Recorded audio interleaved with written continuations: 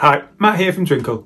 Let's take a look at a great resource from the Twinkl website that can help your children with their understanding of position and direction.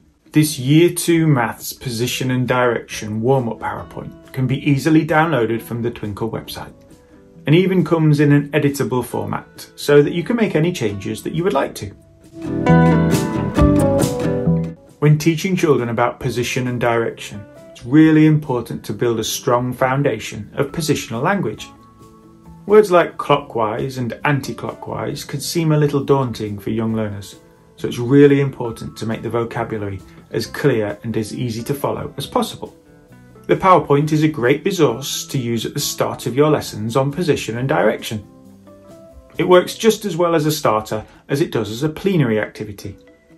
Let's take a look at some of the types of questions included in the presentation.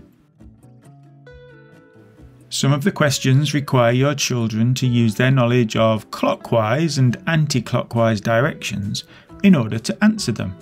Other types of questions require your children to complete sequences.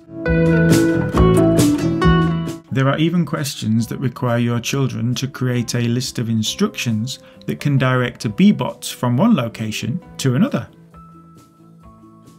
Why not get your children out of their seats and joining in? They could write a set of instructions for their partner to follow using the positional language they have just learnt. Or you could even get your children to come up with their own questions that you could then add to the slides for the rest of the class to attempt.